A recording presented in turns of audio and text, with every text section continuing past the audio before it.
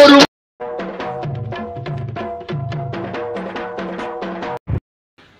ஆவணி மாதம் அமாவாசையானது திரிதின அமாவாசை பிரதட்சன் அமாவாசை என்று அழைக்கப்படுகிறது. இந்த அமாவாசையில் சோமவாரத்தில் வர்றதுனால அதாவது திங்கக்கிழமை முழு நாள் அமாவாசையானது.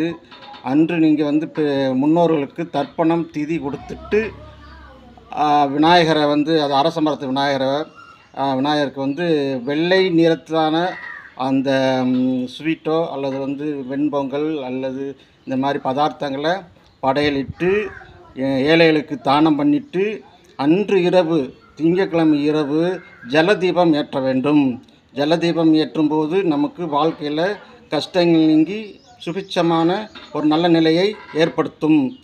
அதனால் இந்த ஜலதீபம் ஏற்றுங்க குளம் ஆறு கடல் இந்த மாதிரி இடத்துல இங்கே வந்து ஜலதீபம் ஏற்றுறது ரொம்ப சிறப்பு.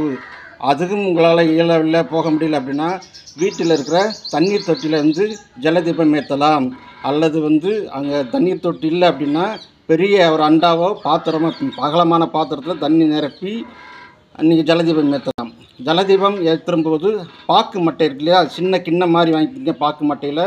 அதில் விபூதி விட்டு விபூதி வச்சு சூடம் ஏற்றி அந்த ஜலதீபத்தை நீங்கள் ஏற்ற வேணும். இது மாதிரி செய்யுங்க. ரொம்ப நல்ல ஒரு உயர்வான நிலைமைக்கு போகலாம். நல்ல எளிமையான பரிகாரம் இந்த அமாவாசைக்கு. எல்லாரும் பயன்படுத்திக்கங்க.